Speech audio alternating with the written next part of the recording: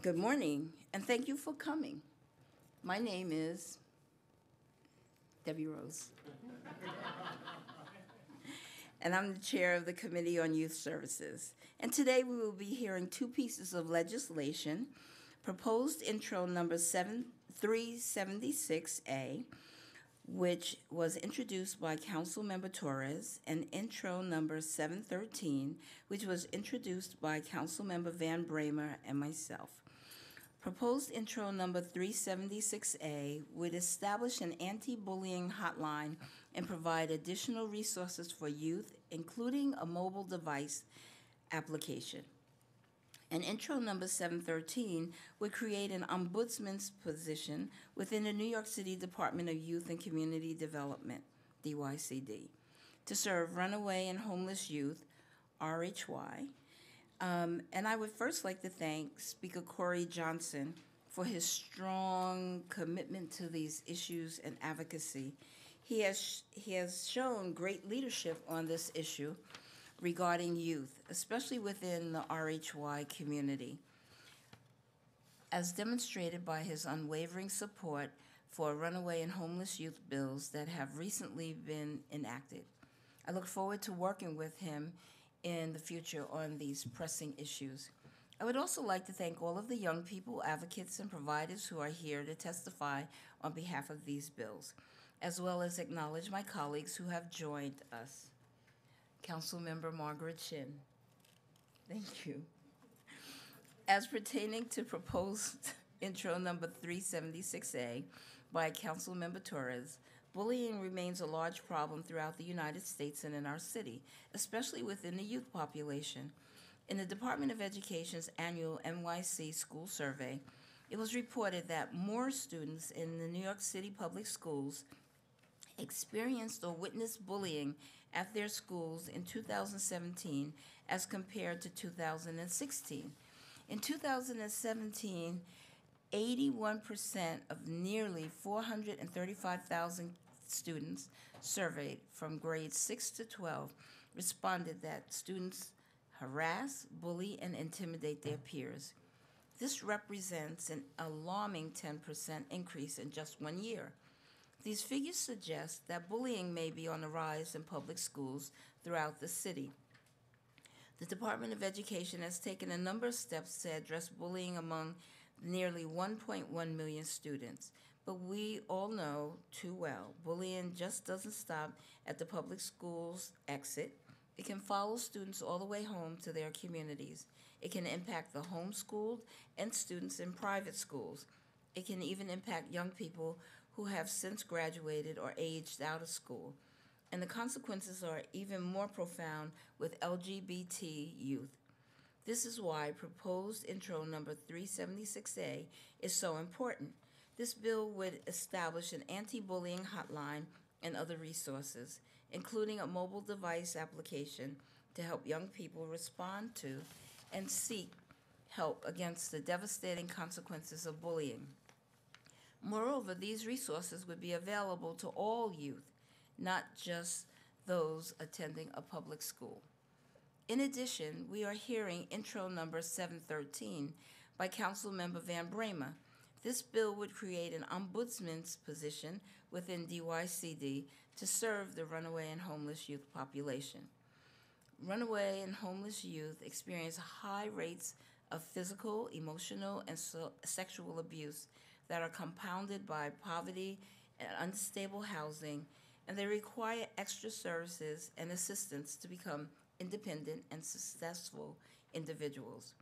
According to the Mayor's Management Report, in fiscal year 2017, DYCD funded programs for runaway and home, homeless youth, served over 25,000 youth, and that number may increase as more vulnerable RHY youth seek support and services through DYCD programs.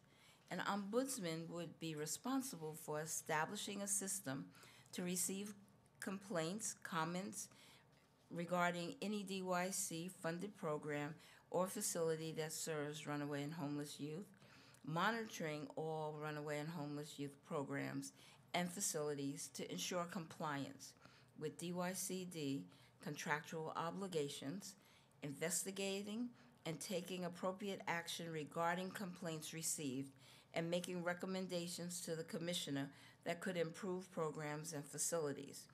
The Ombudsman would also prepare monthly reports outlining its accomplishments and how it is responding to runaway and homeless youth issues and, and, com- and complaints.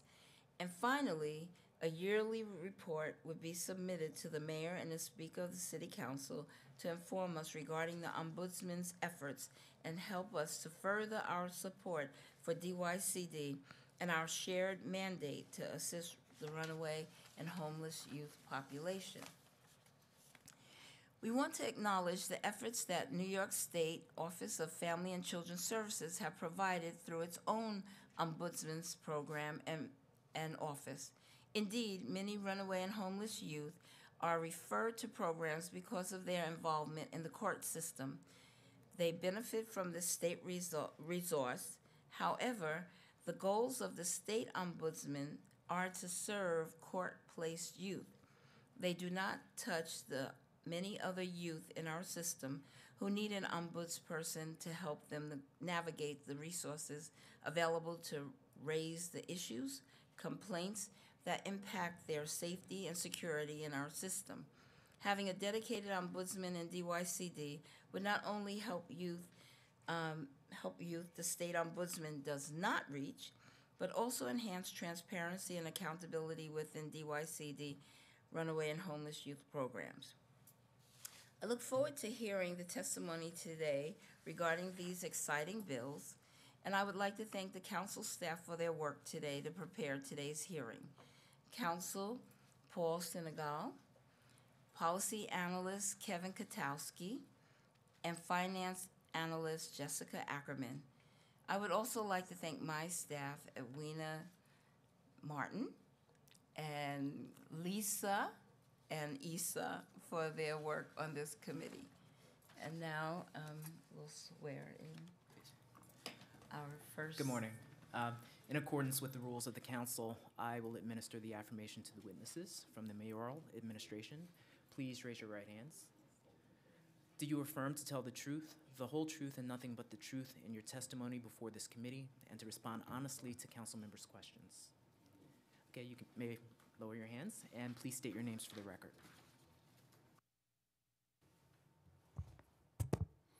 Good morning. My name is um, Randy Scott.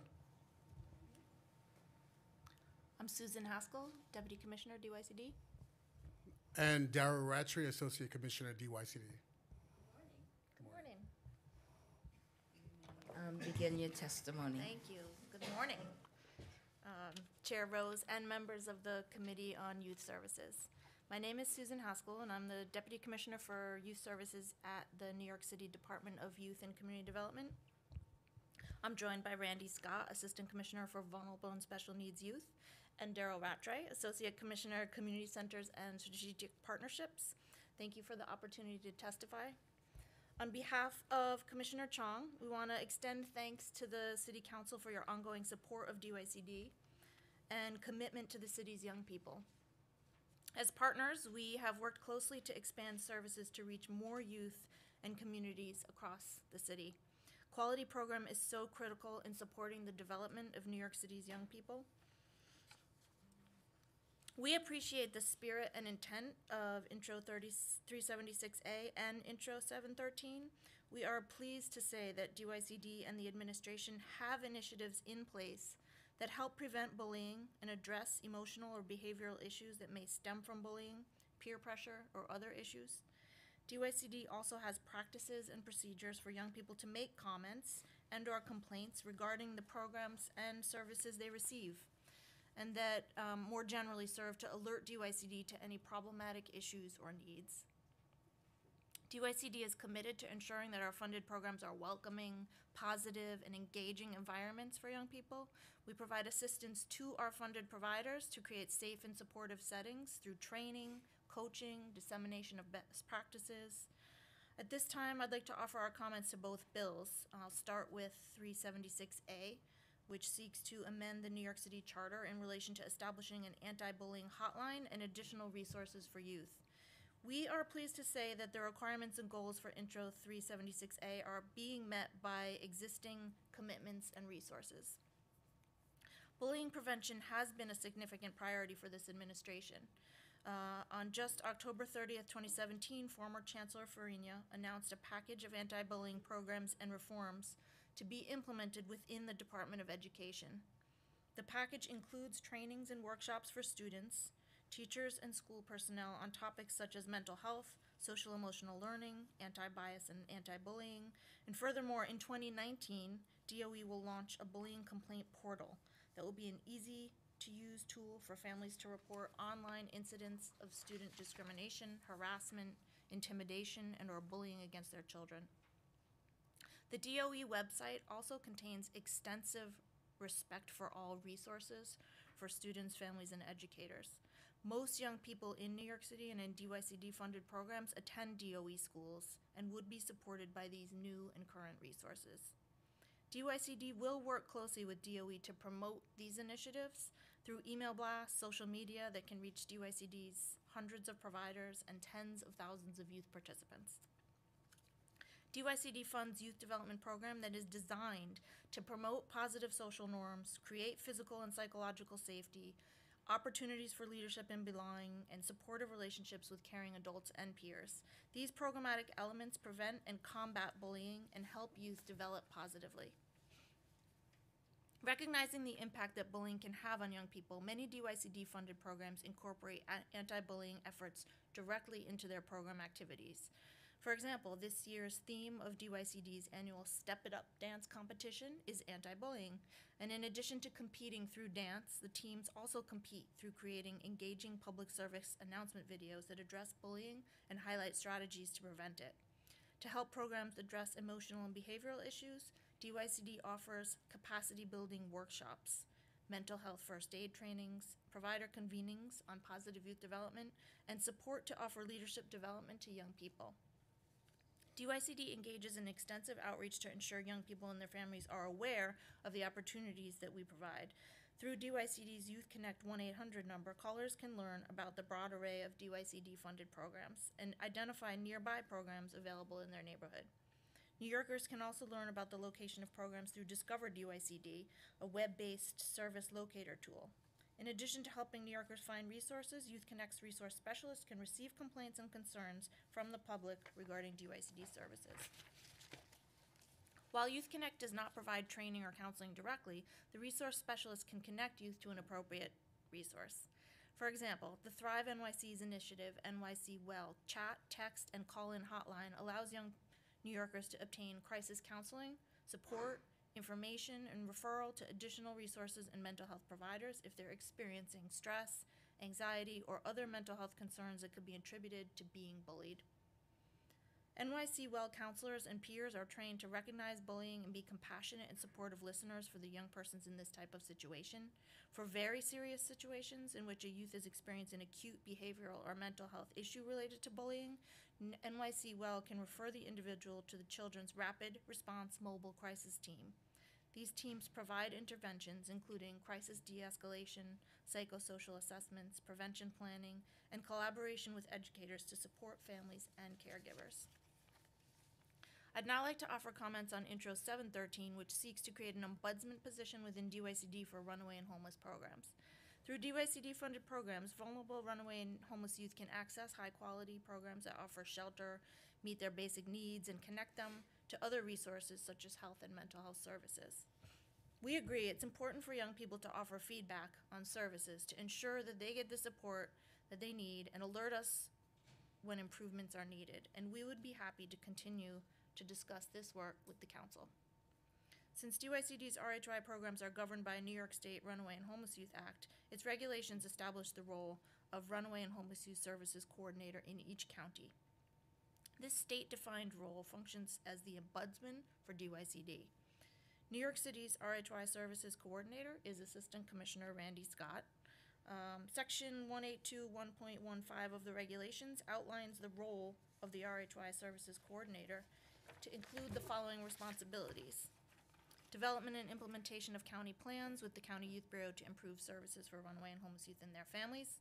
Identification, assessment, and monitoring of all available county resources for runaway homeless youth and their families, ensuring a system's in place for responding to inquiries concerning available shelter space, transportation, and services 24 hours per day, ensuring that program youth have access to educational services, including transportation, considering requests of runaway and homeless youth have appropriate written consent from their parent, guardian, or legal custodian, custodian to remain in runaway and homeless youth shelters beyond the 120-day maximum length of stay. DYCD also has several practices and procedures in place to receive and investigate comments and complaints, which also fulfills the roles of the proposed ombudsman described in Intro 713. They include the following. As part of our plan to encourage youth to share their experiences, at each DYCD-funded RHY program site, providers are required to place a sign in multiple languages that notifies and encourages participants to call 311 with any concerns, issues, or complaints. Those reports are directed to DYCD and the RHY Services Coordinator. Additionally, if an incident recurs at a DYCD-funded program site, DYCD providers are required to submit an incident report to DYCD, and if the incident is serious, to notify OCFS. RHY regulations mandate reports to the New York State Justice Center for the Protection of People with Special Needs, also called the Justice Center, an independent state entity for abuse, neglect, or significant incidents in RHY residential programs.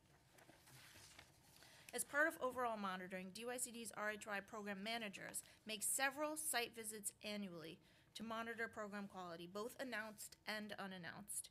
Each site visit revolts, results in a program quality review report, which includes any areas in need of improvement.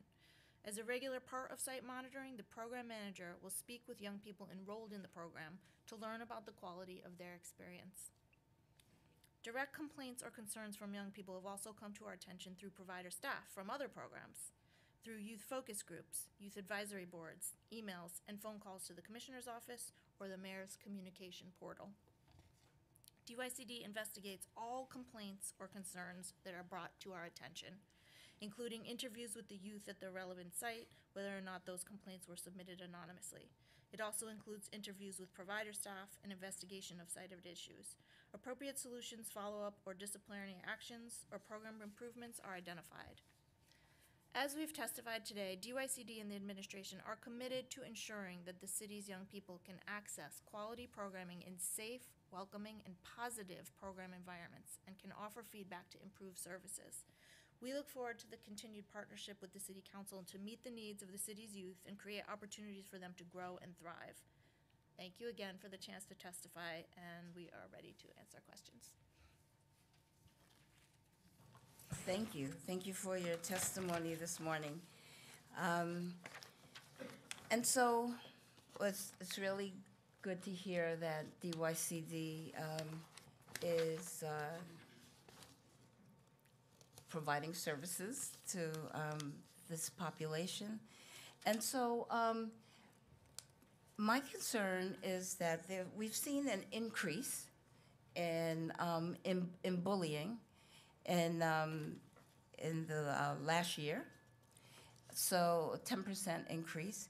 So, um, with these resources that you have in place, um, what would you attribute this uh, increase in bullying to?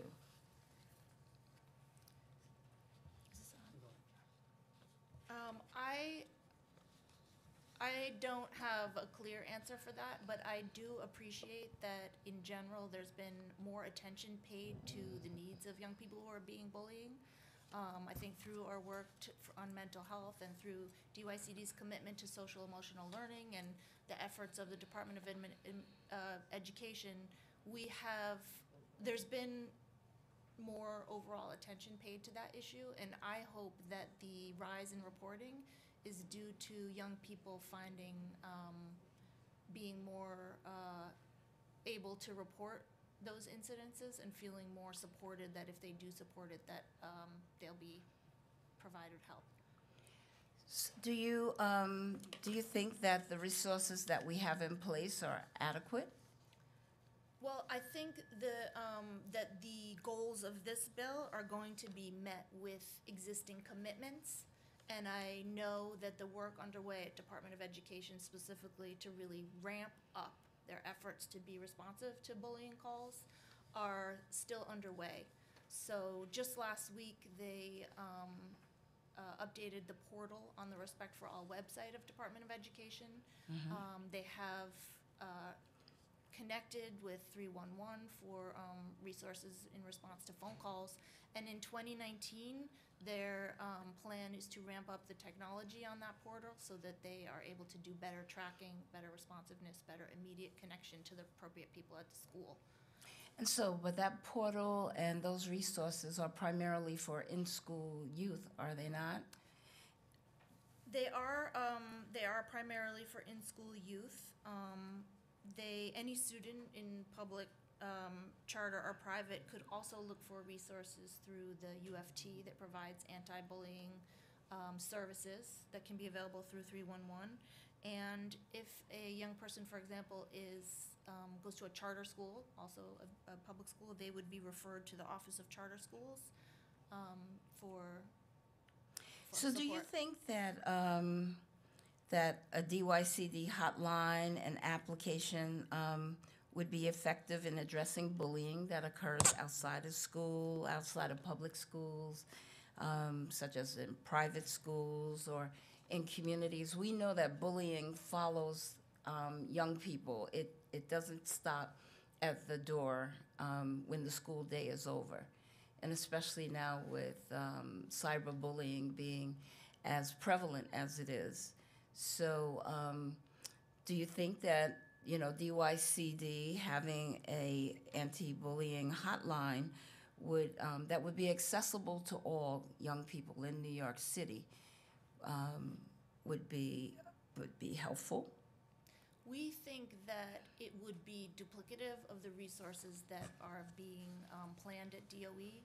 We are concerned that it might possibly even be um, disruptive um, in terms of data collection and follow-through to, in- to implement a separate bullying hotline. And um, I think one exciting thing about DYCD's role in responding to bullying is that our primary goal in the young people that we connect with is positive youth development. So we, it, all of our programs are framed around the concept, the primary goal, concept of creating positive relationships with caring adults, connecting peers to positive relationship with other young people, to promote like pro-social behavior, and to give a young person who might be inclined to be a bully, um, and to get, you know, whatever they're getting social emotionally from that experience, instead through learning new skills and being successful. Um, so I think we address that issue directly through our programming. But there is no dedicated anti-bullying hotline that's available for New York City youth who find themselves um, in a situation that they need a I- response to. Um, I- 311 is a, a general line, and you get referred to, To the, the Uh, depart, to the Department of Education, we feel that's going to address virtually all young people who are in this, um, situation. And. but that's if they're a, a school, they're a school student. That's not someone, just, just a youth who is out of school, someone who's aged out of school. So, you know, where is the res- resource for that targeted population? I think that that is being addressed directly through the new investments in Thrive NYC Well. So all young people, uh, this would be sort of a more older, disconnected youth that you're describing, I think, and all young people and adults are being encouraged to call 188 NYC Well. You can chat. Well, it doesn't have to be older, um, you know, young people. We're talking about the LGBT community and Q community that, you know, suffers probably disproportionately Yes. from um, bullying also. I, I think that NYC Well is going to capture um, young people who may not reach out for support directly through 311 or Department of Education. And with that resources, they, ac- they actually can get counseling immediately through, through the connection with NYC Well. Um, Through the 311 or the um, DYCD, bu- uh, DOE bullying resources, they'll be directed to appropriate school personnel. Thrive can offer immediate response. Just, just to, to add to, um, And I think one of the things that we have to do is definitely check in with DOE on the details. I'm not 100% sure that it's only isolated for, the resource will only be for students. Um, that perhaps it'll be other resources and referrals happening through that hotline. No, through our programming, we'll make the effort um, to partner with DOE on this, get the word out, make sure our providers are um, informing the, the neighborhoods about this new resource. But we'll definitely check in with DOE and on the details of whether or not it's only for students. I, I don't believe that to be the case. I just, um, you know, a, a point that, you know, I think is important is that um, a young person who is in crisis and reaches out to a hotline that would directly serve them right then, interactively, is different from calling 311 and getting, you know, a list of other phone uh, numbers to call. And by the time you actually reach someone, um, or you've gone through several steps, you know, they might have decided it's, you know, it's just more effort than, than not, you know. So I think there's real value in having a dedicated hotline that would respond, you know, interactively to a young person who feels that, who has made the courageous step to reach out for help. Because we know oftentimes they're so intimidated that they don't. And so, you know, I, I think any gap in in that moment where, you know, they say, you know, I'm gonna deal with this and to be referred on is uh, is a lost opportunity for helping that young person. I appreciate that, and we agree. We think NYC Well is a great resource for that immediate support. Somebody who can connect you at the, in the most extreme example, to a mobile crisis team right then and there. So what does DYCD do to promote um, these uh, resources so that um, a young person in New York City would know where to go and, and how to go and, and if they wanted an immediate, you know, um, interaction, um, that they should go to Thrive or, Yeah, I'm New gonna York Well. ask, um, I'm gonna respond briefly about, um, about the Thrive efforts and then to ask, um, Associate Commissioner Rattray to talk about what happens at the programmatic level. Um, but DYCD has been actively involved in the First Lady's, um, town halls. We've been going out to communities to talk to young people and adults about this resource. We've been connecting with providers to promote the, you know, including chants to repeat the number to ensure that people remember. Internally to DYCD, we are all being trained um, about the mental health resources so that we can carry that forth to our providers, and our providers can carry it forth to young people. I know I personally am getting, you know, questions from, you know, like as we all do from um, from neighbors and friends, and I'm excited that I can offer them a resource through Thrive. Do you want to? do you provide training to, um, to all of the, the different providers and contractors that you?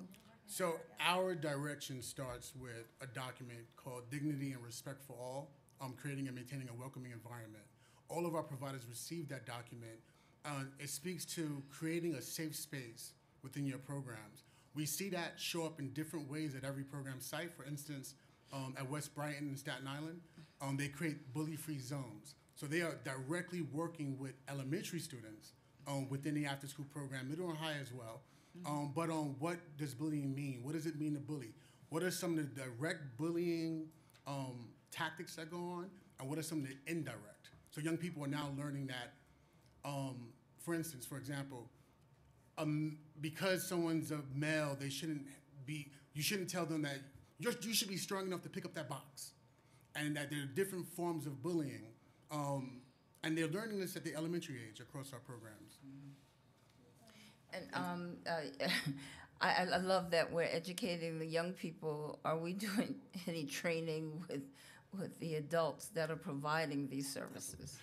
Yes, we are. Um, currently, we, part of the Thrive Initiative was that we were gonna train not only, um, our staff, but we were working on training, um, our provider agencies. And we have started that process to bring mental health first aid to our providers in many different, um, training sessions.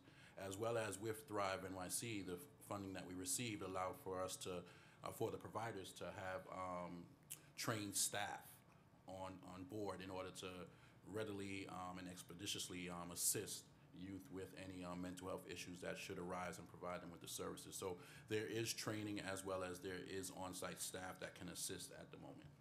Um, does DYCD um, hold a contract Thrive NYC programs?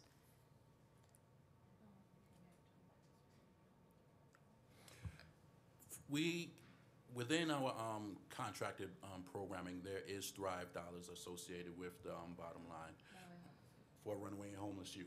Um, so in our drop-in centers, and our um, residential programs, they receive funding to either bring staff on to provide services in mental health um, situations or trainings. We also allow for them to um, do psycho, um, psych evaluations, um, work groups, um, creative um, art therapy, so things that are identified on site as immediate needs for youth who um, identify with mental health issues. So they are able to be creative in using the funding for that purpose.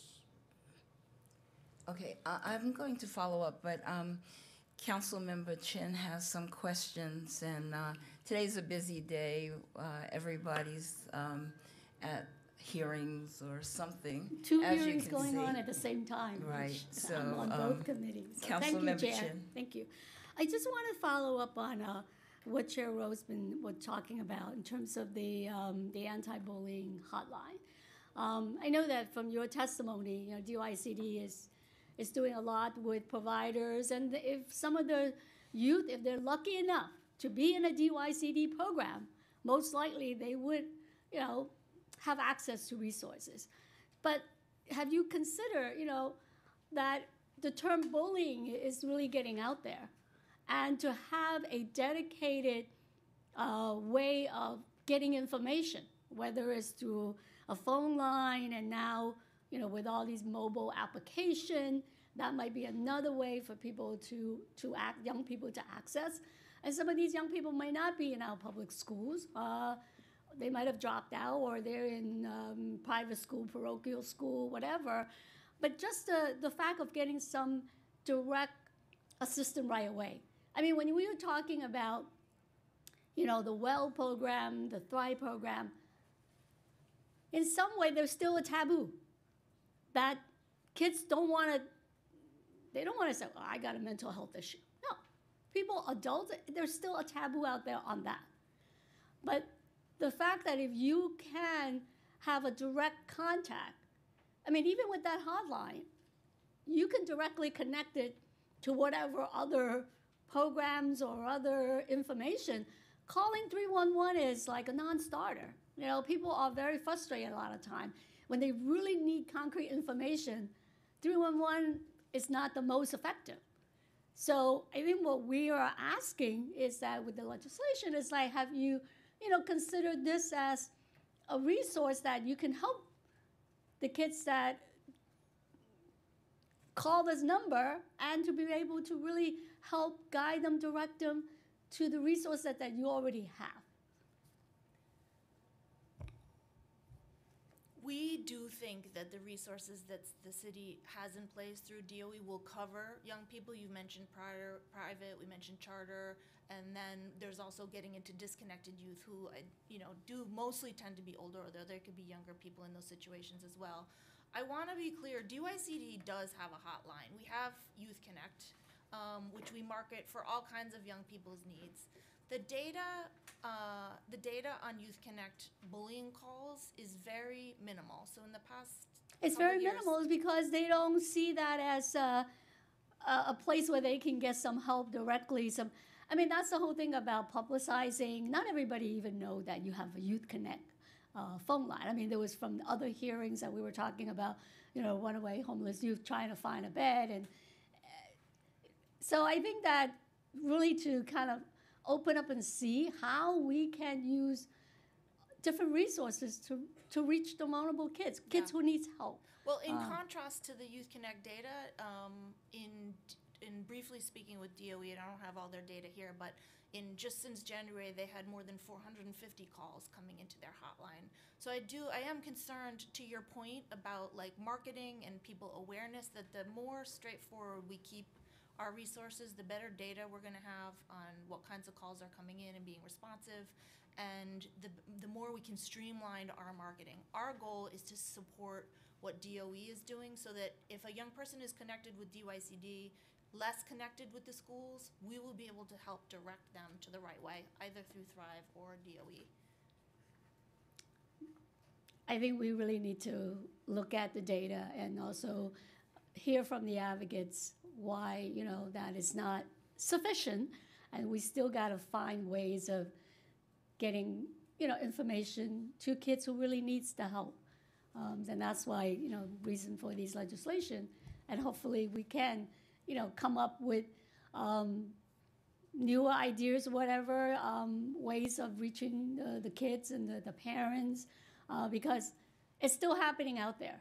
And uh, bullying is, um, if you talk to any kids in school, but for them to really get the resources or the kids in the neighborhood, we don't want them to think that it's a rite of passage, that everybody got to get bullied when, when you're young. No, there are help out there, there are resources. So we're just trying to find a way of making sure people know how to get the help they need. And Councilmember, we are, we are absolutely in agreement that this has been a thread of um, importance over the years to our programming. Um, through our special initiatives that we do, whether it's our dance competitions or some of the, the um, really specific things that programs are doing in neighborhoods, this has always been a theme that they take on. So, like for instance, in our Step It Up dance competition that was mentioned in testimony, um, imagine dance teams um, that are thinking that they're part of a dance competition, but now they find out in the opening that you have to take on a social campaign. This year, the campaign is anti-bullying. And what we're seeing is um, providers, um, dance teams. There's one in East New York, um, Team Diversity, where their their campaign is anti-immigrant bullying. Um, and now this dance team is now empowered to speak to the residents, speak to the other program participants, rally them, go out there, get the word out. Um, this is happening across the city um, in many of our programs and many of the initiatives that we do. Another really interesting one is um, Rock Nation in Far Rockaway. That dance team took on the efforts to stop body shaming um, as a form of anti-bullying approach. Um, in the Bronx, Live Dance Love, that dance team is looking at cultural bullying um, and focusing on um, cultural wear, beliefs, and practices. And again, these are young adults who stepped into this for performance and now have been empowered take on this larger role in their community.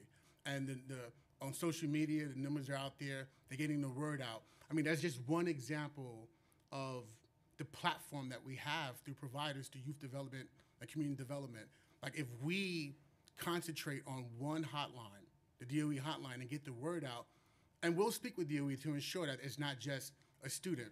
Like you know, it's, someone calls, are you a student? Yes, no. If not, call someone else. And we'll make sure that the proper resources are there. We'll speak with them about the hearing as well as you should as well.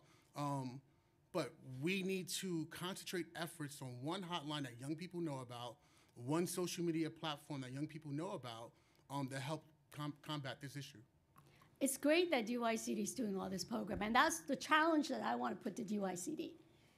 When every single young people in our city can participate in our DYCD program and they can get all that. But right now, that's not the case, okay? Because DYCD don't have enough funding to fund an after-school program for all our kids in public school. In elementary school, we have universal middle school kid, but no summer, okay? Which we don't agree with. But we don't even have universal after-school program for every single public school elementary school student. If we have, you could be reaching out to all the parents and all those kids. I mean, they would be participating in all these programs, but we're not there. And we need to be there. So every one of them will have the opportunity to get the resources that they need. And that's the challenge that I have for DYCD. You got to expand. You know, don't be satisfied with the budget you have now. You got to make sure every kids have an after-school program and tell that to the to commissioner. All right? We're not there yet. Until the day that we have that, we still got work to do. Sure. Thank you, Chair. I gotta go to housing. Give them hell, Margaret. Thanks. Thank you, council member. Um, uh, on that note, you're, you're saying that, um, Youth Connect is, um, is a, a platform that, or a resource for young people to access. So, um, are there any plans uh, for you to maybe appropriate or expand it so that it actually has a function where it is an interactive bully, anti-bullying hotline as opposed to just a referral mechanism? Um, and so, um, that a young person could call there and could actually have sort of an intervention instead of, again, going through a, a drop-down list of services that are provided and um, a number of other people that they have to call to access it. Um, is, is there any conversation around looking at um, uh, appropriating that site or expanding that site so that it has this particular um, feature so that you know it's it's actually addressing the need of someone who finds themselves in a bullying situation. Currently, Youth Connect doesn't provide that kind of counseling. I know it doesn't. We are putting our attention on the new and significant resources through NYC Well and DOE, so that if a young person does come to the attention of Youth Connect, they can alert, they can connect them with those resources. We, we think that that need is being met through those resources, that we have existing services to meet that need. Are you aware of any of the other social media platforms or um, mobile apps that are out there that address anti-bullying? That address bullying? Uh, I mentioned in the test, uh, I think in the testimony that the UFT has resources for Right, school mhm. children in public and private. Um, outside of the city, I'm aware the Trevor Project has a resource. There's a runaway and a national runaway hotline. There's, um, yeah, D- Department of Health and Mental Hygiene. So I know there are other others that are. yeah. Is there any move to sort of coalesce with, you know, um, some of these uh, more interactive, direct, you know, um, Yes, I think that, programs. I think that is a, a responsibility of Youth Connect and of course three one one as well, to be aware of available resources and connect young people to the right ones. Yes, I do think that's, that coordination is part of our goal. So let's say um, that we're just gonna really push hard on this. What would it? Um, what do you think the anticipated costs would be to um, build um, an anti-bullying hotline, and the the related um, resources that you would need to do that? I, I don't know. I know that DOE has just committed millions, some, something in the territory of eight million dollars to their um, efforts, and that's a significant investment, and it's a large reason why we want to keep focus on, on that. So, do you have access to um, DOE's the, the data that they have that they get from these programs that um, you're you're connected to? We could do better in communicating with them on these. We've been in touch with them recently. As I mentioned, they shared that they had 450 calls since January. Um, but we could look into opportunities to coordinate better in terms of what we can learn to provide better services through DYCD by hearing the kinds of complaints and issues that are coming through to them. I think that's a good idea, and we will be in closer touch with them following this hearing. Do you have oversight of these um, the sites and, and the DOE programs? Absolutely not, no. No. No. And so, um, in response to, um, if you knew the numbers, then you would try to provide different services or mm, adequate services or I can uh, some, some additional examples- services. Yeah, some examples I can think of is you know, if DOE reported that there were many calls coming into this certain neighborhood, many calls coming in regarding this specific school, then I think DYCD could have a role to um, say like, hey, what's going on in that neighborhood? Let's look at our community centers and see if we can do some outreach. It's what very- kind of very- bullying is it? Is Very it- similar to work that we do now with the mayor's office to combat domestic violence. In the areas that we know have a high um, report of domestic violence, we now work with them to do workshops for young people, young adults, um, relationship workshops, dating workshops, um, to start to bring that down, hopefully. Do you get called, um, again, data regarding the, the 311 calls that are um, related to bullying? We get data, as I said, we had very few, like something in the range of five or six bullying calls um, through 311 to Youth Connected. So there's really like nobody like monitoring um, how many calls sort of come in um, in terms of, of bullying. Oh, I, I think that is monitored closely, absolutely. What I'm responding to is that um, there might be an opportunity, especially through the expanded portal in 2019, that's going to have more information for DYCD to play a role to respond to those that information. Um, they DOE is again part of their significant resources has been increasing their team. It's going to be very closely monitored, uh, just like 311 is. I mean, we get detailed information from 311 about calls in areas related to DYCD. Yes.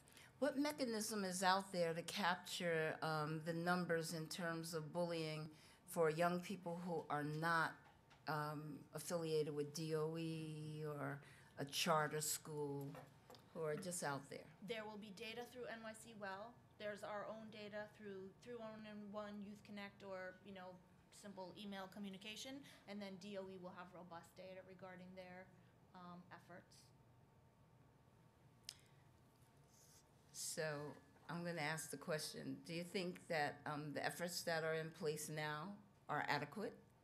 I think that even DOE is planning to expand those efforts. So I, their plans include increased resources from what we have currently.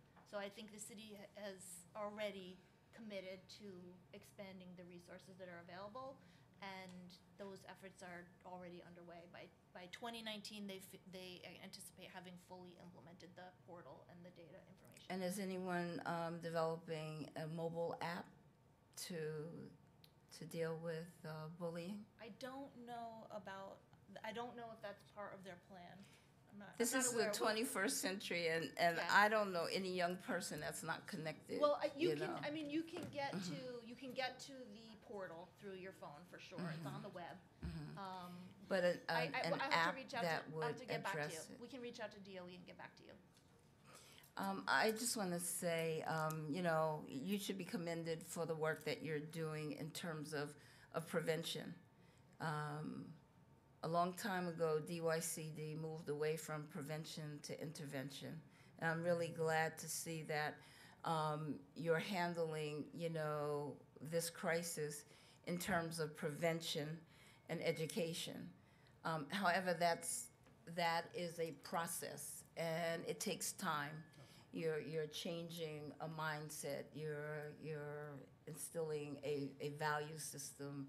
Um, so that takes time.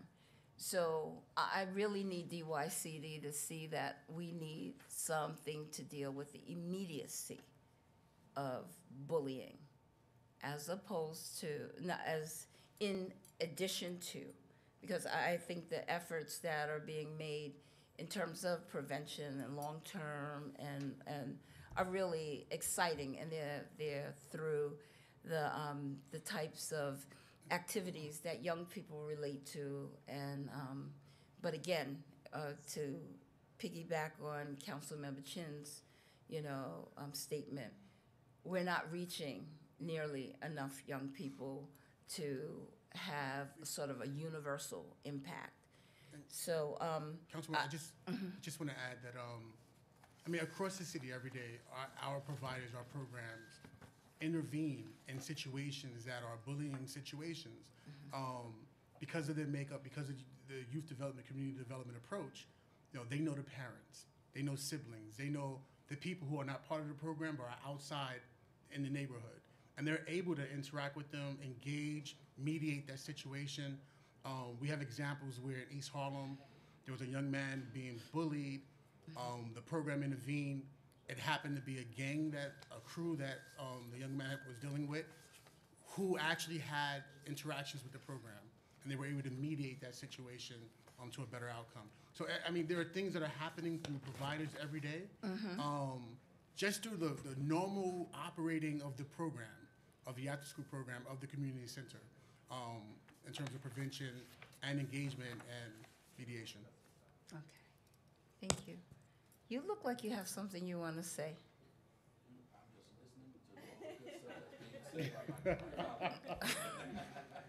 He, he's just gonna ditto. Oh, everything that's been said He's just going to ditto, With a smile. That's how that works. Okay. Okay, so um, I, I think you probably will have more to say about the next, um, the next bill, which is uh, 713, I believe. Um, um, In terms of 713 and, and the request um, to have an ombudsman um, to, to handle the complaints and the issues of runaway and homeless youth. Um, You cited that, you know, you are regulated often by the Office of Family and Children Services, state, state mandates. Um, But is that not only just for the court um, mandated young people who are in these facilities? Um, no. As the runaway and homeless youth coordinator, I'm um, responsible for the youth in New York City in terms of um, providing them with the services that they need when they go to any of the certified runaway and homeless youth facilities, um, as well as when they go to our drop-in centers and they work with our street outreach team. So I basically am available to them um, for any concerns or questions, suggestions that they may have um, at any given time in order to provide them with the best resource so that they can, um, you know, aim to get back to independence if that's the um, path that they so choose. So um, how do they get access to you? There's many forms that they can um, have access to me. The one is through focus groups that we um, hold Through at what? I'm sorry. focus groups Focus groups? that we hold at um, different times. Also through um, our, can you hear me? Yes. Okay. Also through our um, monthly youth provider meetings that we have at um, our site. I also um, am available to go to the sites and speak to young people in that forum. We also have the ability to talk to them from directly because they have access to my um, telephone number to call me if they should choose to do so. My cell phone as well as my um, office phone. So I've um, communicated as well as met with youth in those forums. So do you have staff? Yes, I do. Okay. And so um, 24 hour staffing? I have staff that are 24 hours, um, as well as myself is um, 24 hours. So if I'm a, a young person who um, has a, a, crisis at 3 a.m., I call you? The likelihood is that you would be calling me first, correct? Yes. Mhm. And- And, and my number has been provided in past hearings in terms of allowing youth to have access to my um, direct line. And um, how many youth are we talking about that's in the system? That's in our or system. That you um, serve? For fiscal year 17, in our crisis shelters, we served about anywhere from 2,500 to 3,000 youth, which um, in our crisis services. In our TILs, that number is a little bit lower to about, I would say, 250 to 300.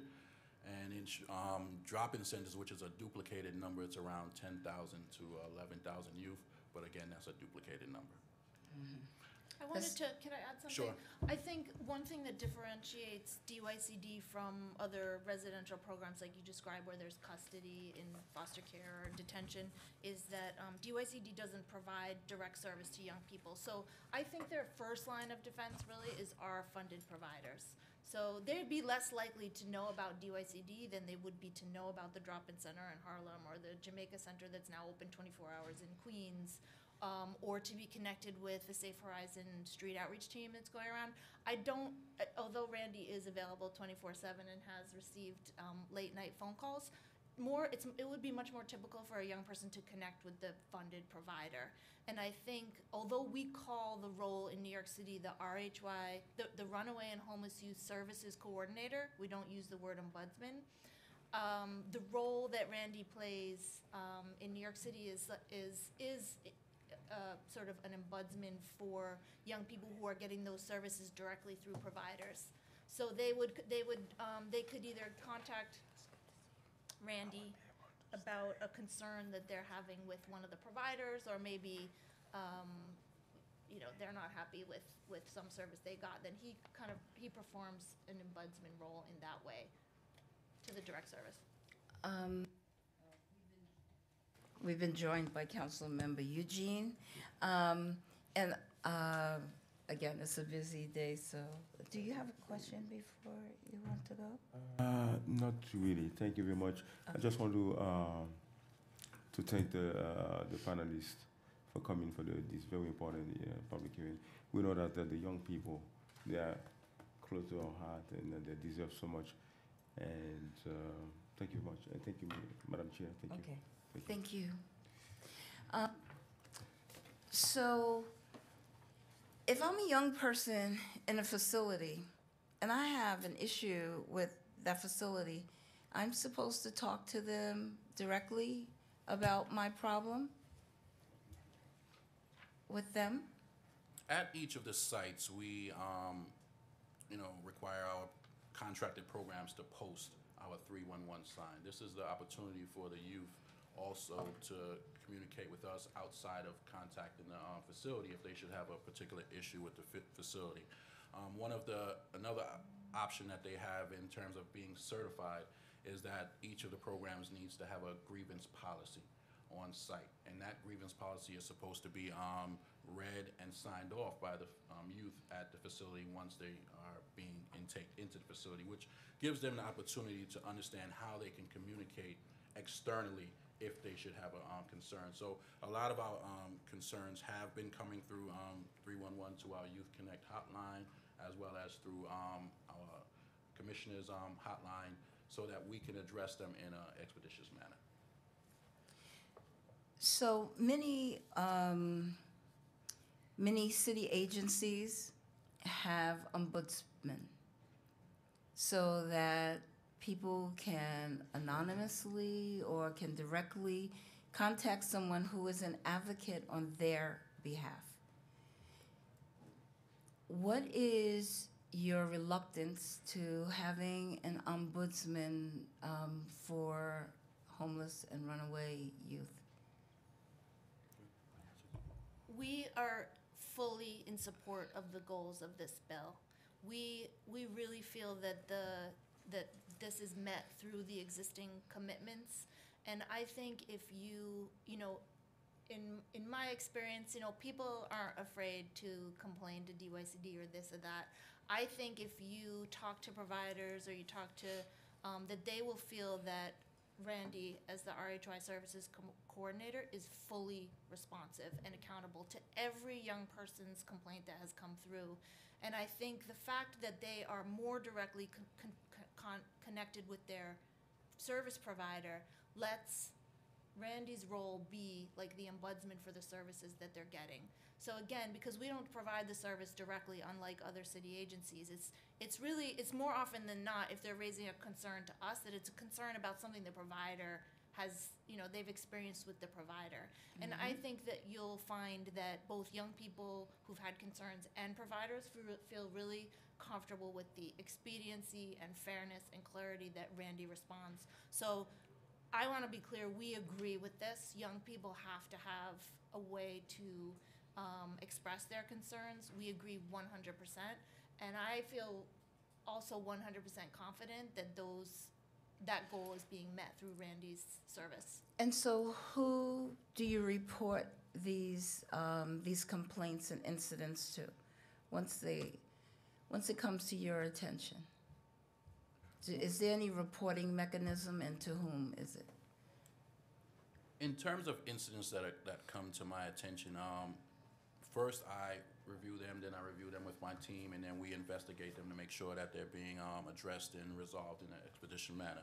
If they should happen to be um, incidents that alarm, you know, more action, then I communicate that with my supervisor, who is the Deputy Commissioner um, Susan Haskell, so that it can then go up the chain of being addressed as well as being, um, uh, you know, informed with throughout the agency. So that's the process that we have. But a lot, most of the incidents that have come in um, have been addressed and resolved, and usually within 24 hours of receipt.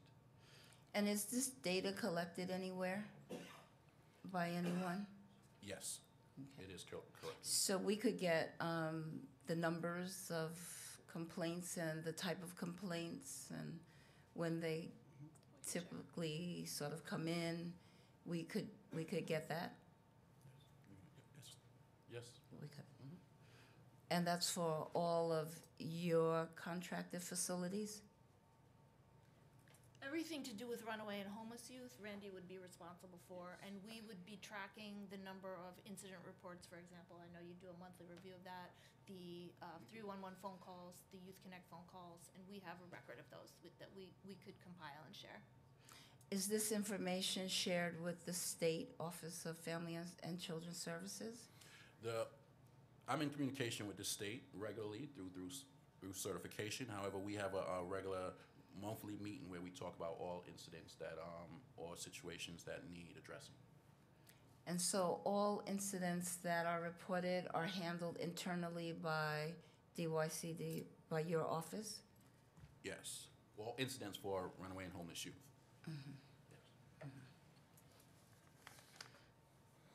Yes. So I'm going to ask this question of you also. Um, What would the anticipated cost be if we established an ombudsman's office, um, you know, inclusive of all the resources that you would need to have a- a functional office that could address the needs 24 hours a day? I'm trying to, wondering if you're trying to ask me if I need a raise.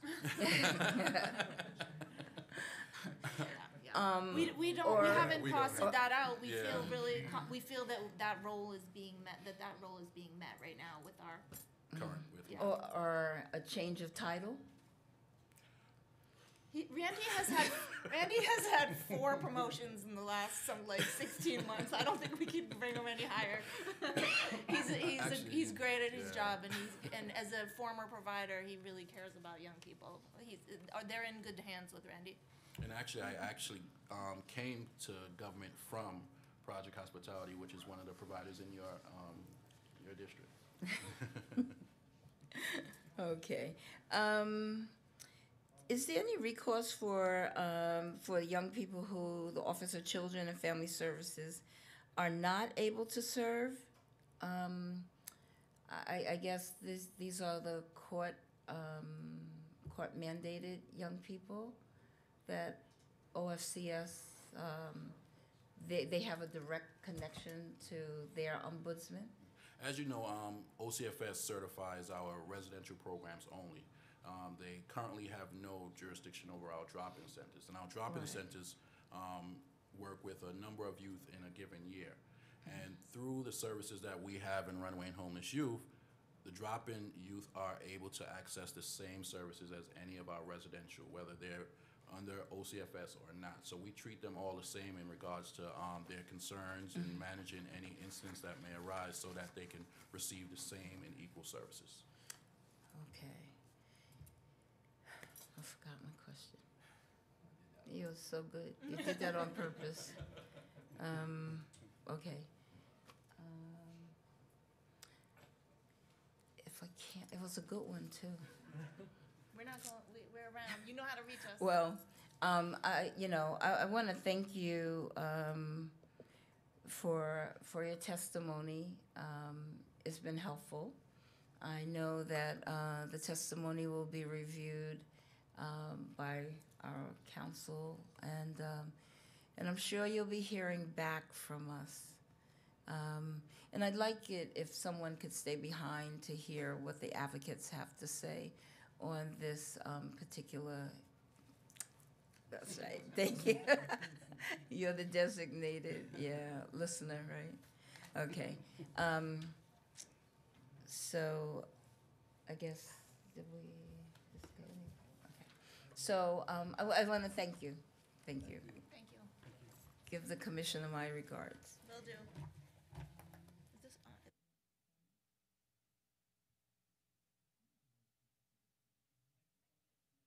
Oh, um, could you um, give us um, the sign that you have? Oh, and, and, I, and I need to say this before you leave. Um, you have to do a better job of letting people know what resources there are. Because, um, you know, surveying young people in terms of Youth Connect, they don't know what that is. They, they really don't know what that is. And so it's not a, a valuable resource if they don't know what it is and how to, you know, to access it. Um, the same with the um, the young people in the runaway and homeless, the TILs and the drop-in centers. You know, um, a piece of paper on a bulletin board um, in a stationary location isn't really, I, I think, the best way of letting someone know that there's a, a resource and a service and that their rights are, you know, they have a right to make that call. Um, when they enter into into the uh, the um, facility, uh, are they given like a a bill of rights? When I go to the hospital, they tell me, you know, what my rights are, and I have all the phone numbers that you know I need. At each site, they are given a um, program manual which provides them with information on how to um, access services, proceed with um, any information that they should. Complaints Yes, and- complaints, grievance policy, as I mentioned earlier. So they are given that information once um, intake is um, completed by the provider agencies. So please take back to the commissioner that we need to have, um, um, uh, to look at distribution of how, you know, um, people are made aware of what the resources are, especially Youth Connect. And with that said, that doesn't mean this is the last conversation we'll have about the hotline. Thank you. Um, so these are like advocates for children, homeless youth. Okay. These, I think, under. Yeah, eh, thank you, thanks so much.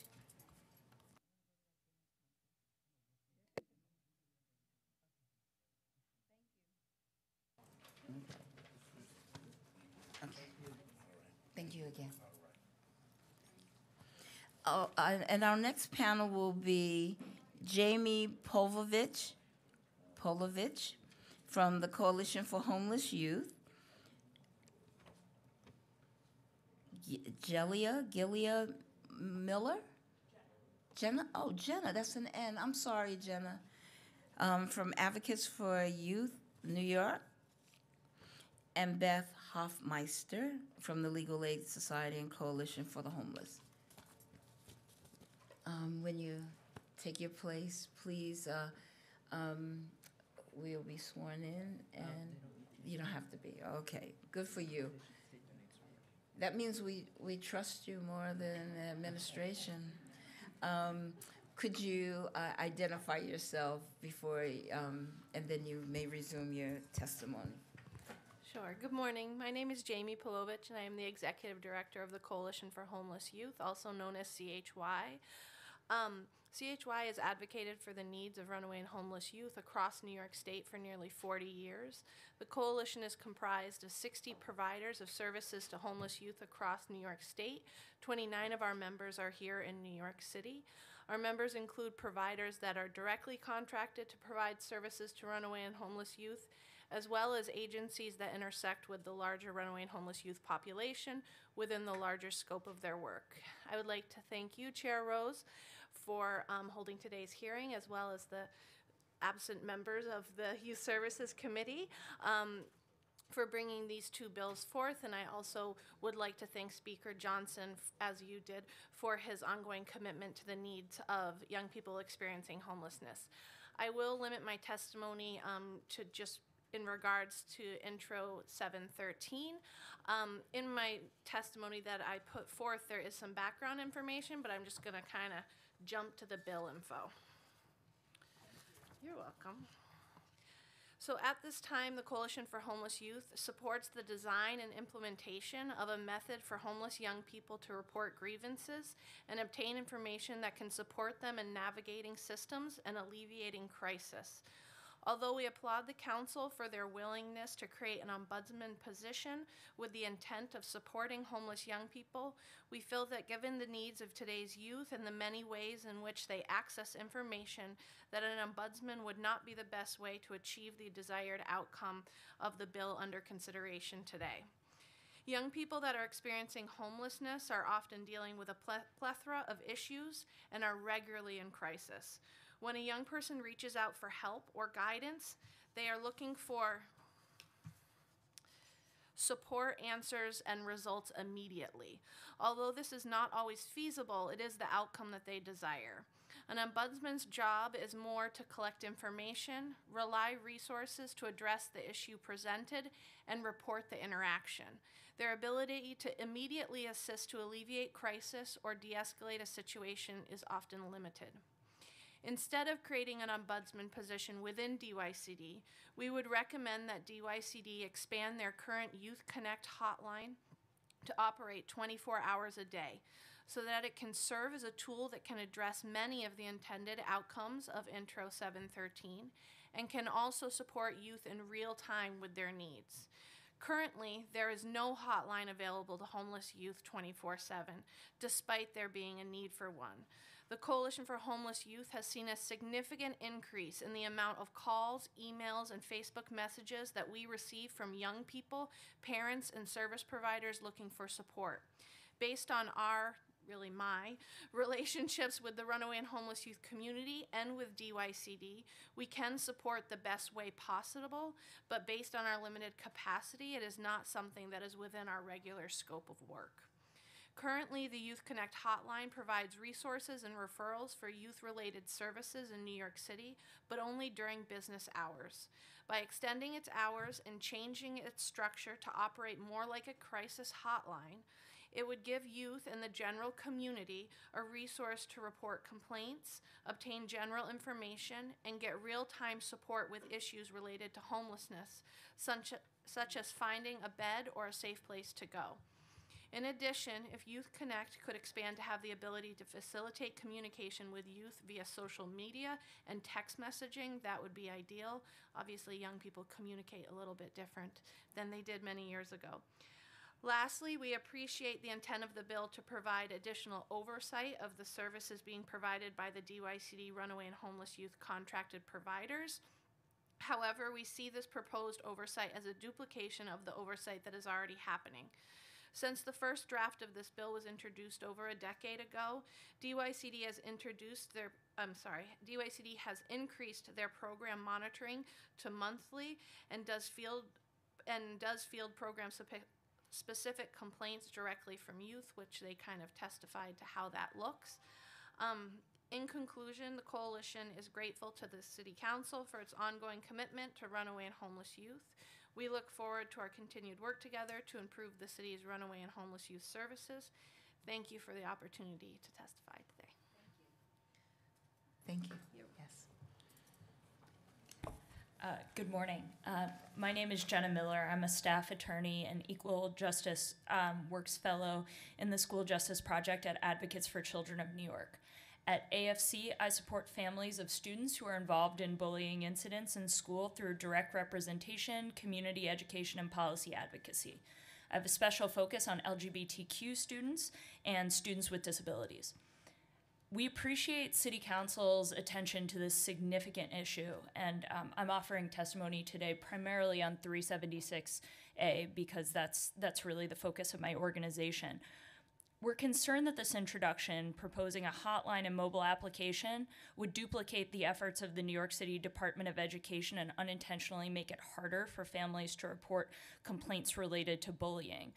DYCD representatives already went over um, the pathways that already exist to make um, to make complaints about bullying for families or students who do not make complaints at school or feel they are not being heard within their school.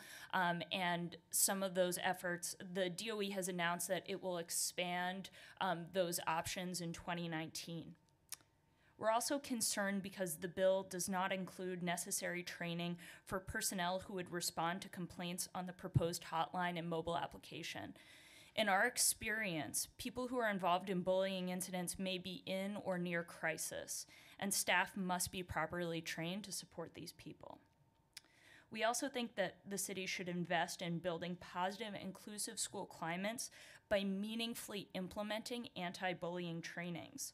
State law and the chancellor's regulation already require that each school have at least one staff member who is an anti bullying resource for students and staff.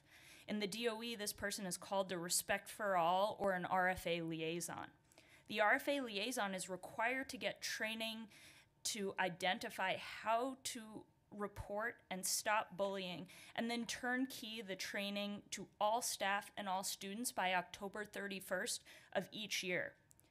Some RFA liaisons report to our organization that they don't feel confident enough in their own training to train their colleagues in how to prevent, identify, report, and most importantly, to stop bullying. In AFC's experience, a number of schools don't turnkey this training, and even when they do, the training isn't enough for staff to prevent and address bullying. For example, it's been our experience that some school staff don't report bullying because they struggle to differentiate bullying from other behavior. And many school administrators aren't adequately trained to investigate and address bullying we recommend that the DOE review delivery of RFA liaison training, that they provide more support to RFA liaisons, including compensation or relief from other obligations, and that the DOE better monitor the completion and the efficacy of respect for all liaison or respect for all trainings themselves. The city should also invest in evidence based whole school approaches to improving school climate, like collaborative problem solving. We call on City Council to work with the mayor to negotiate a final budget that invests at least a million dollars per year in whole school collaborative problem solving trainings. Research shows that these trainings promote positive school climate and inclusive learning environments where bullying is prevented and addressed. It also develops the skills of students and staff to develop healthy relationships, constructively resolve conflict, and de escalate behavior. The mayor's leadership team on school climate and discipline already recommended that the DOE implement these trainings in their 2015 and 2016 reports. And while we appreciate the DOE's plans to, explan- to expand whole district collaborative problem solving trainings to three additional districts, the city and the DOE hasn't yet invested in a long term strategic plan with funding to build capacity to roll out these trainings to all schools in the Department of Education and the city can start by can start doing that by investing a million dollars for whole school trainings in collaborative problem solving in the fiscal year 2019 budget. Thank you for the opportunity to testify. I'm happy to answer any questions you have.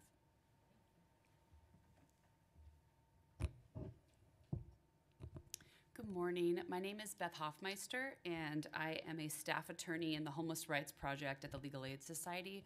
I'm testifying on behalf of Legal Aid and also uh, Coalition for the Homeless, our client. They were unable to be present today.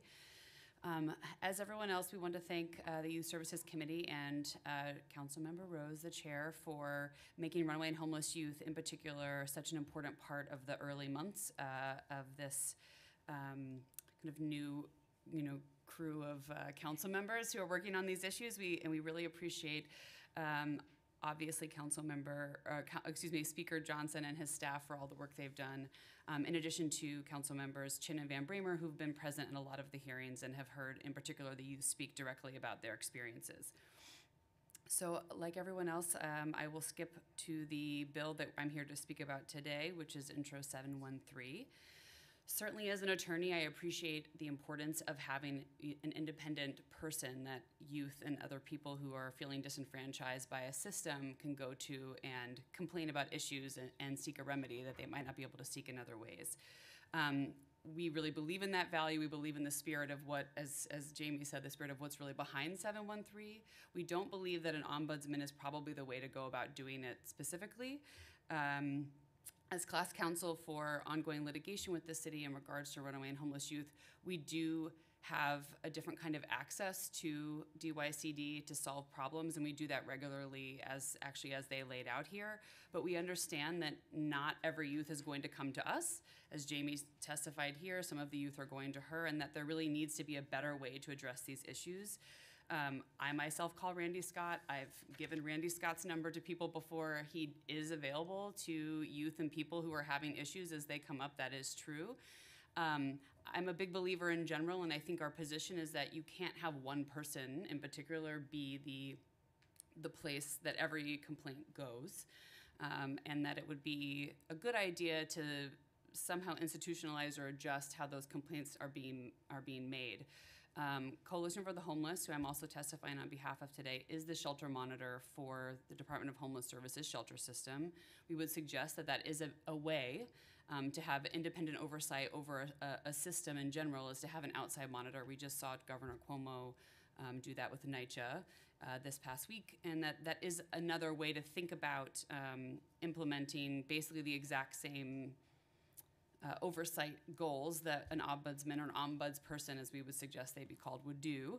Um, however, we're not sure that that might also be the best fit for this particular system. So, one of the things that Jamie testified to was expanding the role of Youth Connect so that it would be a 24 hour hotline, that there I think very importantly would be an opportunity for youth who are looking for a bed to be able to call this number and that person who would be answering the phone would be able to identify where they could go in that moment because so often the youth are in these moments of crisis when they're calling. Either they're very upset about an issue that's just happened, they need a place to sleep. And as someone who's dealing with those issues myself, um, during the day and sometimes into the evening to help them out. It would be really helpful if there was one place that youth could go for complaints, for getting a bed, for figuring out where the nearest drop-in is all the time, and that would be a way to do it. But it but it would have to be expanded and changed um, in order to address that. And I think also we know we don't know how much all of these different things would cost, but that might be the most cost effective way to address some of the needs that are still outstanding in the system. Um, and a system that we believe uh, we know is hopefully going to, with the new budget, have additional beds for different age ranges and groups of people, which is very exciting who want to seek youth uh, shelter and services. And we want to make sure that as many beds and as many services as possible are being opened up in that way, as opposed to maybe spending money on some other things um, that that that maybe uh, those costs could uh, be better used elsewhere. So we're happy to answer any questions that you have, and thank you again for letting us testify today. Thank you all. Thank you for um, testifying. Um, and being that you're on the front line and you're out there, um, I want you to know your testimony is valued. I, uh, so it seems to be the consensus that um, we don't need um, a, a dedicated hotline for bullying. Is that is that what is being said? And that um, we could expand upon um, the existing Youth Connect services, right? So um, in its current iteration, it is not effectively addressing the issues that our young people are, are experiencing. You're talking about. Oh.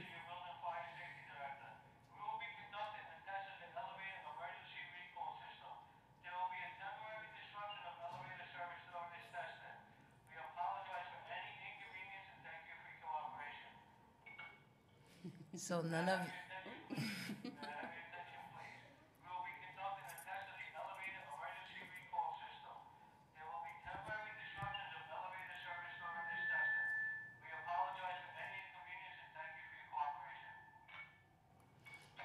so if any of you thought you were gonna run away from this hearing, You are now captives. I'm sorry. You're going to respond. So yeah, I think to expand Youth Connect in its current form to be act more as a comprehensive 24-hour crisis-driven hotline, and I think that also to emphasize the the crisis piece as well, because I think also in its current form, Youth Connect is a resource sharing um, platform, which I think you mentioned isn't always useful, right? When I'm a young person and I'm looking for something, the answers I don't want are a list of numbers, a list of addresses. I don't even know how I'm going to get there, and someone may not even pick up when I do call those numbers. We need it to act as a function that when young people are calling, accessing a bed, or with a grievance about a program, that the person on the receiving end can really help support whatever the young person is calling about. Um, and I think, you know, I didn't testify about the bullying hotline, but I think a lot of the things that are in that bill, right, could also be supported with the expansion of Youth Connect as well. And that's just another, um, another thing that the hotline could assist with. I mean, I think when I think of hotlines, you know, something similar, although that I know that's a very complex system, like the domestic violence hotline, right? When someone is in crisis, when they are in violence, as young people often are as well, right? They're calling to get an immediate support to the situation that they're in. And that hotline does that right? Like after an assessment on the phone they are immediately connected to the resource that can meet their need although not always perfectly right? And then there is usually a resolution at the end even if that resolution at times is that there is no beds available at least that that person knows that getting off the phone call. And i think what beth was saying i myself have contacted Randy Scott many a times as well as a provider and in this current role, and he is amazing at picking up and helping support those um, calls that he's received. But I, I also think about the many young people that aren't already attached to the DYCD system that don't know Randy Scott, they don't know his cell phone, they don't even know where the drop in centers are, and having one centralized number that they can call text, hopefully, Facebook message, right, to kind of get the answers that they need. I think that also, when we talk about homeless young people, we also are talking about young people that oftentimes struggle with substance use or with mental health issues. These are young people that will call and they don't have a lot of patience a lot of times to deal with 311, to deal with numerous transfers, not knowing what option to press. Um, and so having kind of a centralized place to field the calls where they can get real time advice and support, I think would literally be a lifesaver for some young people. Um, and and how do most of you get um, your referrals or, or your clients, uh, consumers? I don't work directly with young people, um, but I think that when you just kind of Google homeless youth in New York City, my website comes up a lot.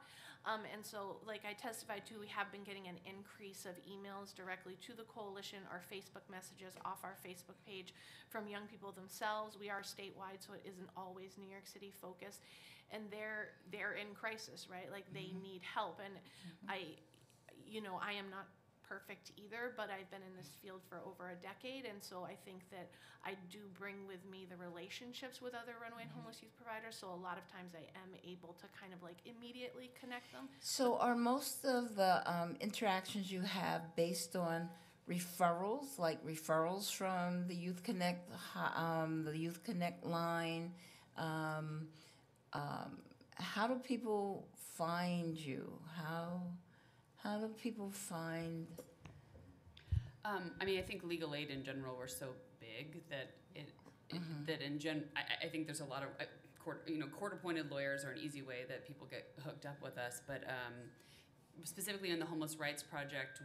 You know, we've been doing the work with Coalition for the Homeless in particular since the 1970s, since the right to shelter was established, and have been class counsel on those cases for so long. Um, but we have a, a hotline that appears. I mean, we, we deal primarily with a lot of adult shelter eligibility issues, and we've only probably in the past six years been more involved in the youth shelter um, issues. But most of our clients uh, we're dealing with have um, le- legal issues that arise out of their eligibility into going into shelter, into family shelter in particular, as, as you know, is a very difficult process to go through, and also um, clients who are dealing with safety issues and need transfers or um, have disabilities and can't be that can't be met in their current placements, things like that. And then we also partner with Coalition for the Homeless that has a daily intake um, at 129 Fulton Street in Manhattan, where they'll take anyone who's in shelter who has any kind of issue and uh, will help uh, kind of connect them with what they need, whether that's an ID, whether that's food, whether that's a psychiatric evaluation, what have you. So we work in collaboration with them to make sure we're doing our best to serve the legal and service needs of, of New, York, New Yorkers experiencing homelessness. Um, but we do have a hotline that also um, is on these forums that, that we get calls and help give people information and advice. Um, as you, you know, there's thousands you- of people in shelters, so we. Do you ever get the complaints that, like, an ombudsman would, would have fielded? um, Sure. Yeah. okay. I mean, be, when we were doing outreach before we brought our litigation, we, we, we sued the city to try to get a right to shelter for runaway and homeless youth. Um, and that litigation is still ongoing, but um, we met with hundreds of youth on the street. We were connected with some of them through ad- other advocates or providers and learned a lot about ways that the system could be improved. Um, truth be told, through legislation, obviously, the recent five bills that were passed, through other changes that DYCD has been making, the system is very different than it was even five years ago uh, when we really started the litigation, which is a great thing. And uh, to other commitments that the administration has made to serve um, this population, you know, as I as I've joked even with Mayor De Blasio, as an advocate, I always want there to be more than there is because that's part of my job to be keep pushing. But in a strange way, I think we did get a lot of and have continued to get a lot of complaints because people know we sued. And so they'll call us about systemic issues. So I do think that there's a value to have an independent person, ideally fielding, you know, That- fielding that Yeah, information because I That's think the then you can direction I was back. going. Yeah. So, um, do you think that there's uh, enough volume that there could be a person who would handle, you know, those issues and complaints and I mean, the, concerns? the the youth shelter system is structured very differently than the adult and family and DV and HPD and all kind Mm-hmm. of all the other shelter systems. Um, and part of that is the beauty of what makes it work better for the youth that are involved, and part of that's hard because DYCD as an agency isn't, you know, isn't equipped in the same way uh, HRA is or, D, or DHS is to kind of deal with large scale, you know, kind of shelter projects. So. I, I'm a little torn because I think I, you know, the Youth Connect option is a great option if that could be expanded, and that would likely be a DYCD employee or employees who would be fielding those calls and dealing with those issues. Um, and it wouldn't kind of have the same oversight function that an, an ombudsperson or a monitor would have. But I'm also always reluctant to kind of create an extra barrier or, or, or a kind of level of bureaucracy that may not actually be effective. So um, I think. I don't know that I have the answer right now. I think I, I hope that when you say this will be part of an ongoing discussion, that it really will be to figure out what's the best way with this particular system to make sure youth are being heard, both in the way that Jamie has described, you know, in those crisis moments, but also systemically that issues that can be addressed at a higher level can can happen. Um, and I, 'cause- because I do think there are a number of options. I, I think it's a part of the safety net. Um, you know, um, I, as an individual in, in a particular organization or, or agency or something, um, uh, have um, a level of of security to knowing that there's somebody that I can call outside of you know the agency itself that will you know has my best interest at heart. You know they're not constrained to the the facility and the guidelines and the personalities and, and things of that nature. And so um, uh, I think that they're doing a yeoman's job. Um, very impressed with you know Randy's abilities to to um, respond to you know all of the the issues that are going on, but um, but he is still a part of that layer, and so um, and and you you know as a lawyer that you know oftentimes you need that person who is totally unbiased and um, and with, removed from you know sort of the agency. So um, I, I do plan to continue to have, you know, this conversation about that. And, and I, I appreciate the fact that um, I think we all agree that um, the Youth Connect hotline could be greatly expanded and, and um, sort of multi-purpose and, um, and address some of the needs, um, which are, there needs to be a dedicated hotline, I think, for young people who are experiencing bullying. Um, can I get you guys to agree to that? Well, I, I'm not authorized to talk about the bullying hotline on behalf of Legal Aid or Coalition for the Homeless, but I know you're here to talk about. I mean, something that I can say is that where we're seeing a really big issue is that young people are experiencing bullying. They're involved in bullying at the school level, and oftentimes there are adults who who, see it or are hearing about it and they don't realize that a young person is trying to tell them, "Hey, I'm having a problem right now and I need you to help me." and um, you know sometimes the, i mean so a part of my project is you know uh, a lot of the young people i represent are students with disabilities and a part of their disability is that they struggle to communicate what they're going through and they really rely on those adults to be their champions and so most new york city youth are in new york city doe schools and there are, there's in at there New York City schools, I talk with professionals all the time who tell me, I know that there's bullying in my classroom and I don't know how to stop it. Or I know that there's bullying in my school and I don't know what to do. Or, oh my goodness, I didn't realize that this was going on. And um, I think that, you know, a part of that a, big part of that is that there aren't enough resources for the kind of training that you need to have difficult conversations with young people.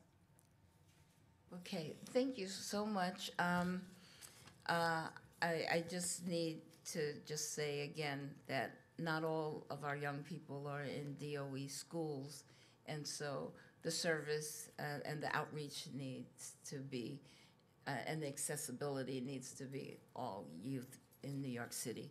Thank you all for, um, for coming and testifying today.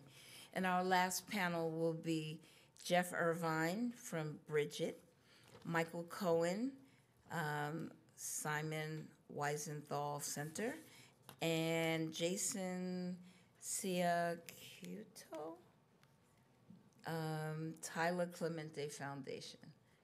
And I'm sorry if I messed up your name. And while they're, oh, you might not be able to leave.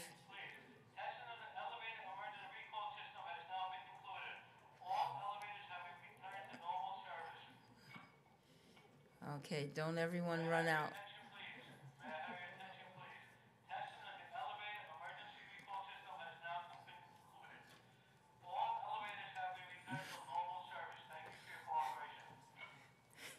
Thank you. Don't you feel really safe in this building today?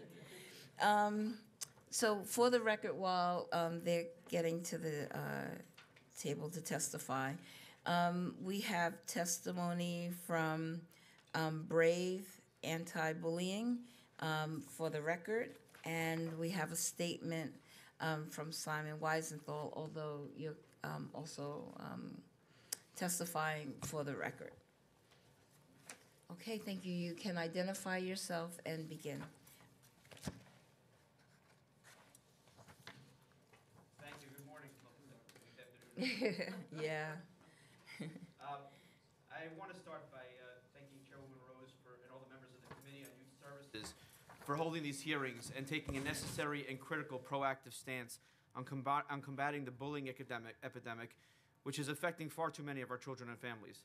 My name is Michael Cohen, and I am here this, well, this afternoon now, representing the Simon Wiesenthal Center as its East Coast Director. The Simon Wiesenthal Center is a leading global human rights organization confronting anti-Semitism, racism, hate, with a membership with a membership constituency of over 400,000 households in the United States and over 150,000 households in the New York metropolitan area. While the Simon Wiesenthal Center has been training both youth and educational professionals on bullying prevention for decades, I am here today primarily to focus on an area of bullying that is having a devastating impact on many of our children online bullying. Until just a few years ago, bullying from peers, from, from peers usually ended, ended at the conclusion of the school day. Not anymore. Social media platforms such as Facebook, Twitter, Instagram are leveraged by cyberbullies 24 7, often targeting kids using password protected platforms and beyond the reach of adult knowledge. Upon, once upon a time, changing schools was an option to escape extreme bullying, but not so much anymore. Social media can, can reach around the world around the corner. A relatively new but important source of hate and bullying now comes with the domain of online gaming. For 24 years, the Simon Wiesenthal Center has produced its annual Digital Terrorism and Hate Report, providing stakeholders, law enforcement, media, educators, and policymakers such as yourselves a snapshot of, of, of how, from the bully next door to an extremist halfway around the world, how they leverage online platforms to promote their hateful agendas. Today, the post millennial Generation Z has now grown up with a smartphone in their hands and an unprecedented ability to organize, create, and distribute such hateful content. We look forward to supporting your efforts and with your committee and social and, and social media giants with our schools and in order to protect our children, their parents, and schools with, with this distributed with this disturbing phenomenon and empower our youth with the necessary skills and tools to properly identify and combat online bullying. For two years now, the Simon Wiesenthal Center has been conducting workshops in junior high schools and high schools around the country, educating our youth to enhance their recognition skills of offensive material and to teach them how to avoid being a target, target bystander, or victim of bullying. The Simon Wiesenthal Center has also produced the Combat Hate app, which provides the youth with a direct path to report online bullying and hate, showing them that they can do something constructive in the fight against hate in all its forms. Attached to your submitted uh, written to the submitted to our uh, submitted written testimony are printed out screenshots of just a few of the worst examples of digital bullying that our researchers and program managers are coming across on a daily basis. I urge you to look at them and see some of the hate that our children are exposed to when they sign on to such gaming and social media platforms. I want to once again thank the committee for taking the necessary time to properly address the issue of bullying and for taking an aggressive and leading role in searching for meaningful solutions. The Simon Wiesenthal Center will continue to offer its hand in partnership with these efforts and stands ready, willing, and able to assist the council in this great city in doing everything possible to protect our next generation from the ugliness of this bullying epidemic. Thank you.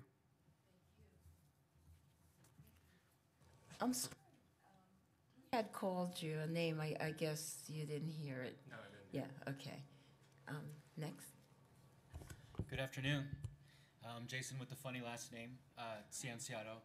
Don't worry, it, it's uh, it's hard to pronounce.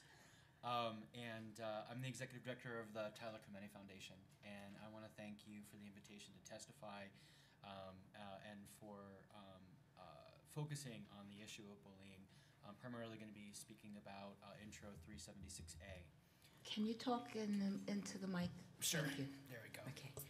Um, I think it's important to remember uh, who Tyler Clementi was, uh, given its relationship to this bill. Um, in 2010, Tyler was an 18 year old uh, freshman at Rutgers University um, who died by suicide after he was cyberbullied by his college roommate. Tyler's death brought unprecedented attention to what was then a relatively new form of cyberbullying, one perpetrated on social media. Shortly after his death, Tyler's parents, Joe and Jane, established the foundation with a vision to create a world that is rooted in kindness and mutual respect and guided by the golden rule to treat others as we want to be treated ourselves. And that vision is manifest in our mission to end online and offline bullying in schools, workplaces, and faith communities.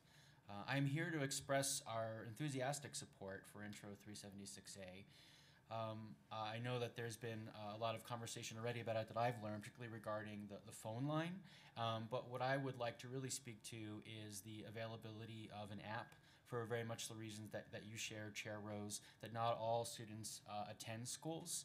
Um, and I also think that uh, just as we've seen an increase in cyberbullying on social media, um, we've also seen a decrease in youth's use of websites and more uh, use of apps on their phones or social media to access resources. And I think this is an opportunity for the city to really jump forward into into that space and meet youth where they're going to get the information that we need. Um, these, this tool is critical because uh, our poll in 2016 of 1,000 teens and their parents in the New York City metro area, which we partner with AT&T to create, found that nearly half of teens in the metro area had been cyberbullied and that 80% knew of someone who had been cyberbullied. So I think that the, the um incidence has only gone up since then. Um, this resource that Intro 376A will create um, uh, will support additional key findings of our poll, um, which is that more than half of New York area teens spend at least three hours a day socializing online, um, that a third prefer to social online, uh, uh, socialize online rather than in person, which as a new father is pretty frightening to me actually. Um, and that 86% are most often at home when they socialize online. Again, speaking to your point, Chairperson Rose. Um, I would love to uh, work with the city and the council to help leverage the resources of the foundation um, to not only support youth via this app who are bullied, but even more important to us to um, uh, prevent bullying from happening in the first place, to address those, prevent those wounds before they happened. Um, and that's really one of the differences between the many wonderful organizations that fight bullying that we partner with and the Tyler Clementi Foundation. That the Clementi family created us to focus primarily on bullying prevention. Um, to that end, since the end of, of 2017, I'm still relatively new at the foundation, I've trained nearly 340 New York City teachers, school counselors, and administrators to implement Day One, which is the foundation's uh, free, easy, and research based bullying prevention program.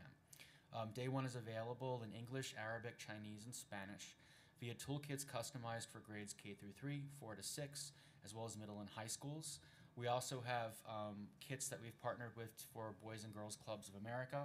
We're going to be releasing in June a kit for Big Brothers Big Sisters of America. So we not only um, meet kids where they are in school, but also in the programs that they participate in outside of school, such as my son, who's in a YMCA after school program. Um, day one consists of students, um, uh, consists of uh, uh, someone in authority, a person who would be responsible for addressing and monitoring bullying, reading a declaration, which simply states the space is, is free from harassment, um, violence, and bullying, and lists a, a large number of enumerated characteristics, which we think it's really important for communities disproportionately affected by bullying, like women, people of color, immigrants, LGBTQ people, to hear themselves represented in that declaration, and a call and response, which is part of the research underlying the program. Um, then students read aloud and sign um, uh, the day one version of our Upstander Pledge, where they uh, commit to treating each other with respect and kindness on and offline, um, where they commit to intervening if they see someone being bullied, or to ask for help from someone in authority if they don't feel that it's safe for themselves to intervene, and to reach out to victims of bullying either in person or online to provide support and to encourage those to seek professional help. Um, I think that if this app or other resources that are created um, uh, includes uh, access to these resources, um, perhaps even links to day one that they might have seen or experienced in school or in their after school programs or in their Big Brother Big Sister program, that New York City could lead the nation in decreasing by prevention bullying. And as you pointed out when we started, we've only seen those incidents go up. Um, in closing, you know, if Tyler lived in a world of upstanders who either never cyberbullied him to begin with, or if just one person reached out to him after he was cyberbullied um, via an app, online, or in person, he might still be alive today. And that's where I see the power of these conversations that are happening, and with the city investing in the technology that youth are using today to access each other and to reach out for help. Thank you. Thank you. Thank you. Madam Chairman, thank you for uh, allowing me to speak today. My name is. Jeff Irvine. I'm a New York City taxpayer, and I'm also the founder of Bridget. And Bridget is a social safety system designed for any community to address bullying, harassment, and abuse. The system is research based, it's data driven. We've built it over the last five years with some of the leading researchers in the country and some of the best data scientists. You talked about needing data. You talk about opt-in systems, and websites are opt-in systems. Hotlines are opt-in systems. I travel around the country. I just spoke in Austin, Texas, before their legislature, in Sacramento, before their legislatures. And opt-in systems, They work, but only in a very fractional way. If on average every student in the city is bullied, 10% of the city is bullied every day, which the national numbers indicate, and there's 1.1 million students, then there's 100,000 kids a day who are bullied in some way or shape or form. But it doesn't get communicated. And communication is the key. Well, walking into a principal's office, you walk out. What do your friends ask you? Who are you snitching on? Or what are you in trouble for? The social cost of approaching someone on a face to face basis today is huge. And our social scientists and my psychologists and all the research bears this out. So we have to create clear, safe channels of communication. And communication changes culture. We need to change the culture of the school. We need to redesign the cultures of the school so they're safe. To do that, culture is set at the margin by the student. Students set the culture, not teachers, leaders. Leaders lead where they want the culture to go, but it's student buy in that sets the social emotional health of that community, drives healthy relationships, drives safety. If we get safety right, everything else follows. And that should be our number one job as a taxpayer, as a father, as a, a counselor. These are the things that matter. And we have the technology today to do it. On our platform, and we, we design it for, we just designed a community in New York City just for uh, kids who are in the, um, who are home, not homeless, who are in, um, who are without parents, right? And girls between the ages of 9 and 12, uh, between 9th and 12th grade, the riskiest population in the world because when they age out, what happens? Drug abuse, right? Prostitution, suicide, highest rates in the country around the world. And there's 400,000 kids who don't have parents in this country. So we believe that hotlines are necessary, but they already exist at a national level with trained people 24 7, 24/7, and they gather data in the right way. We need to gather the right data. If everyone's running their own hotline and they're all pulling different data, if you're not pulling data that's aligned with research and with compliance and the, and the laws, then and you can't compile that data and use that data to see trends, then you can't be prescriptive. You can't get ahead of the problem. You can't be preventative, right? And that's what we've designed. It's all about prescriptive analytics, and you tell a superintendent that, and their eyes roll back in their head, right? What you need to say is, I can see that little Johnny or little Jose are going down this path, and I can see it early, and you need to do this exercise, have this conversation, this teachable moment at this time to get them back on track or to identify what's driving it. And it doesn't matter if it's the bully, the victim, or the bystander, they all need support. Bullying is not, is not something that's genetic, it's learned. It's a lack of support at home, it's a lack of support in school.